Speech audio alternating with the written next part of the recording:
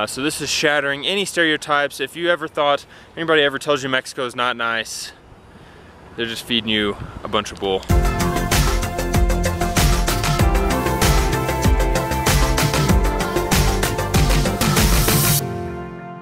Good afternoon amigos from Santa Fe, Mexico. We are, uh, this is like a, a, different neighborhood within Mexico City. You guys requested we go here and Luis I think we're answered. glad you did.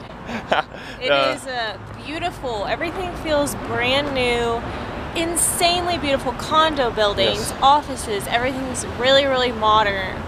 Uh, Every time we every time we start to think we know what Mexico City is or what Mexico is, Luis no shows us something different. Let's go.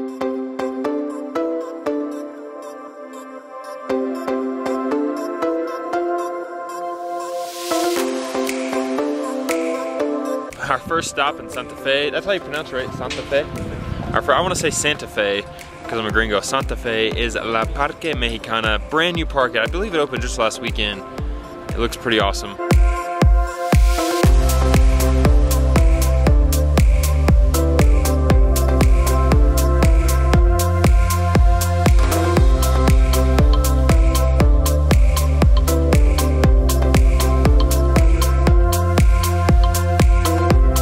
Place is extremely nice. The park obviously is brand new. Just a little backstory about the neighborhood of Santa Fe. Uh, Luis told us it's only about 15 or 20 years old, so it's relatively new. It's a new city within Mexico City itself. Uh, on the way here, we saw a ton of corporations. Uh, we, we saw Microsoft, Ford, IBM, uh, and a whole bunch of others that, that, I, that I'm forgetting. So it seems like this is a big business hub, and there's a ton of new condo and residential buildings around us as well. Luis told us this is about as fancy as Polanco, except newer. Uh, I haven't been to Polanco. Uh, we haven't been to Polanco yet, but I find it hard to believe it's going to be quite this nice. Uh, so this is shattering any stereotypes. If you ever thought, anybody ever tells you Mexico is not nice, they're just feeding you a bunch of bull.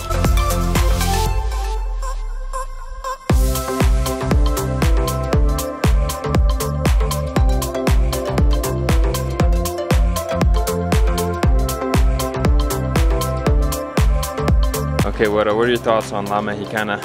Uh, the park is huge. I can tell that in a couple years, all these trees are going to be grown up and it's going to be nice and filled. It's massive. I It think really we say big. everything we see in Mexico City is huge, but we mean it. I think this park just opened last week, so Yeah. uh, we are the one of the first extremely nice. Yes. foot on it. Tons of people. I don't know where all these people went to a park before last week, but um, There's a skate park, a- there's a zip line, a dog park, awesome a kids pond, area. uh, plenty of jogging. It's got a little bit of everything. It's huge and really beautiful. Now what are we going to do? Eat, eat, eat, eat, eat. In a... Mall, mall, mall, mall, underground. Okay, if you don't speak Güera, we're going to eat in an underground mall.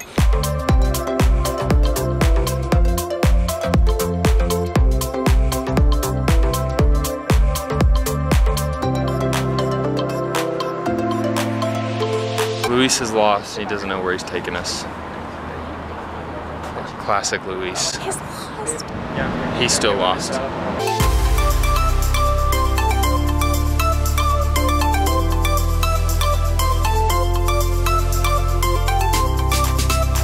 We were trying to find the entrance to this museum, but we're in a heated we're in a heated football uh, uh, discussion, if you will. So I think it's distracted our our abilities to find the door.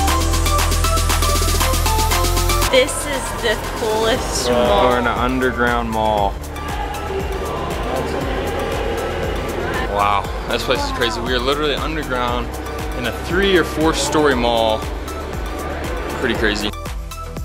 Only problem is I think everybody's at the park because no one's really here, but more for Güera.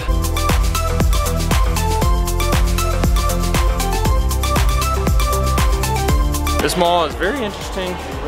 Every other mall, any shopping place we've been to in Mexico City has been packed.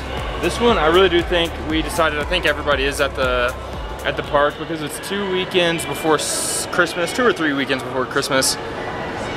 There's nowhere, no one to be found here. It's actually kind of nice though, kind of nice. Made it to Cabo Grill. Usually we base our decisions on where we're gonna eat Either one by recommendation, and Luis filled us there. or, or two, whichever place is the busiest. But there's literally no one eating at any restaurant here, so. We're the only ones at the mall, which is awesome. And we made it to Cabo because we wanted to get back to the, we didn't get back to our West Coast roots. yeah. Cabo's on the East Coast. It No, is? no, it's on the West Coast. It No, is it's on the West oh, Coast. I messed up. I was thinking Cancun. I was thinking Cancun. It's gonna get crazy. Luis is taking a shot of shrimp water. Pretty nice. What I is it? recommend it. Eh, what is this? Uh, shrimp, uh, caldo de camarón. Ah, okay, Shrimp but Shrimp soup. soup. Shrimp, shrimp soup. soup is good. It didn't sound so good, but Even I like it. it's pretty tasty. Let's see, Güera. It's spicy. It's got a little spice to it. all right. All right, all right. All right. We've got some uh, fish fillets with French fries, and the French fries in Mexico City. I've mentioned this before. I think They're so good. they are amazing. Rice, salad. Güera has the exact same thing. She's only gonna eat about half that. I'll get to finish. And Luis, what's going on, man? All he's got is Horchata. horchata. Mayor chata drink. He's And they're, it's got tacos, they, right? they, they're forgetting his tacos. They're coming though. Well, I finished my plate and uh, Luis has been taking after Go Goyo. He finished his plate as well. And uh, Güera, what's going on over here? Oh, wait, uh, come on. I can't. I can't do it. Okay, I'm gonna take it. I am stuffed off of fried fish because, well, I finished all mine and uh, like three quarters of Hillary's.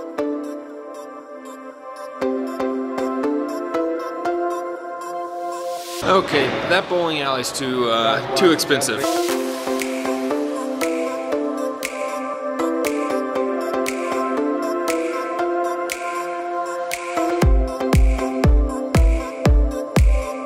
Well, apparently this karting thing's only for kids, and we probably can't afford the kids price regardless. So I think uh, we've got some more shopping to do.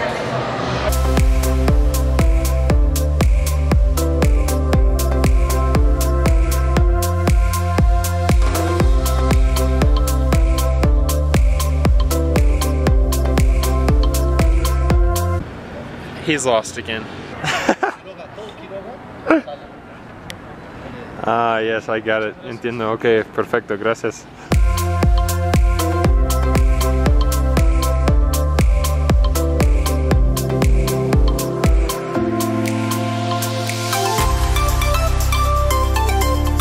We're about to enter the mall, unfortunately, for my sake. I'm kind of bummed the, the karting thing was only for kids, but we had an interesting conversation with Luis uh, a few minutes ago about how fancy Mexico City can be.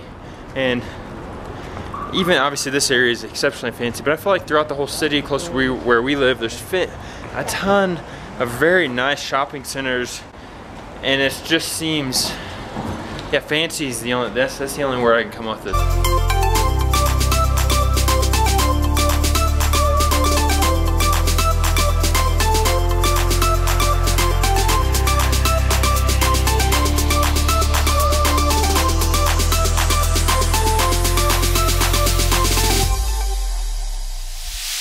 Lost again. He can't, he can't find his ice Doing cream. what he does best, asking for directions. Eh, este, disculpe.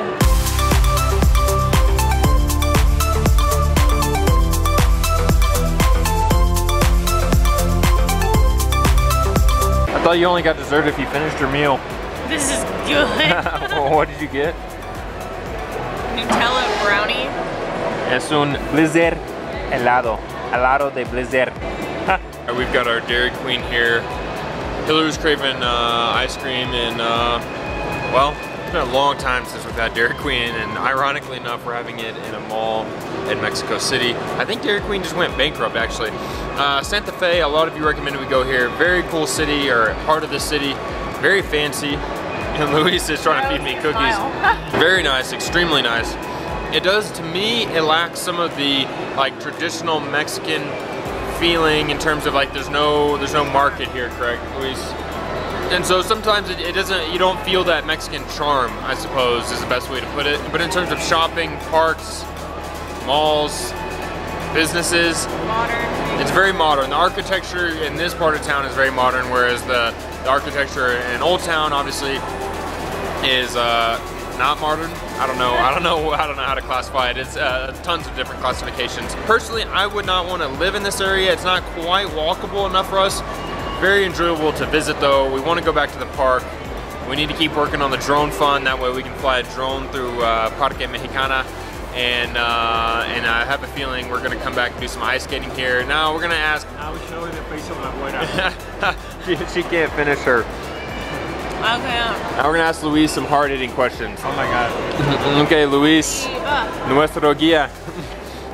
what?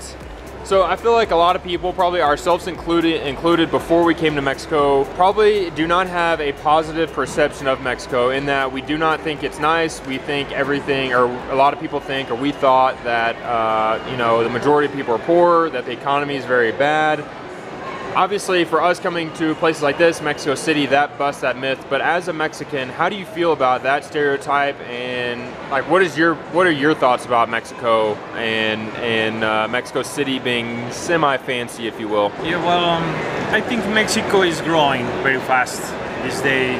Uh, I think that the news uh, is in charge of, uh, of uh, sell a very bad image of Mexico in general, the Yeah. country Mexico. But you know, you have to sus- always be suspect, always Suspicious, suspect uh-huh. about the news and see it by yourself. So come, visit, travel, see it by yourself, and you take the, the best decision about if the news are true or false. Exactly, exactly. I love that. We didn't rehearse that. Uh, we didn't rehearse that at all. But I feel like that's one thing Hillary and I say all the time is, of course, we want to be smart. We want to be cautious. But we also want to experience things for ourselves and see if it's as good as people say it is or as bad as people say it is, and uh, kind of see things through our perspective, through our lens, if you will. And uh, most, most more often than not, we end up finding at least something to enjoy. There's always something to enjoy. I think that's the point. Even in an area like Santa Fe that we don't see, that we can't see ourselves living here, there's plenty of things to enjoy. And it would be easy to focus on the negatives of it not being walkable, but uh, especially for a short visit like this, there's too many positive things to focus on. So hopefully through our channel, through our videos, we can uh, we can help uh, give that perspective to you and help you maybe uh, see things in a more positive light. Now Güera is finishing up her ice cream as we finish off the video. Do we have to say anything else? Yeah, finish us off. Thank you guys so much for watching. Be sure and subscribe to our channel. Click the bell, that way you get notified. Cada vez We post a video and we'll see you guys. Al rato. By the way, I don't know if we said it, but this mall is huge. It's like one, two, three, four, five, six, it's like six or seven stories. It's pretty big. We decided that other mall was uh, is more like a like a strip mall, had strip mall type place in the inside of it. This one's more like your traditional mall. Well, there's nothing super traditional about this, but traditional mall in the sense of the types of stores here. Okay, now bye.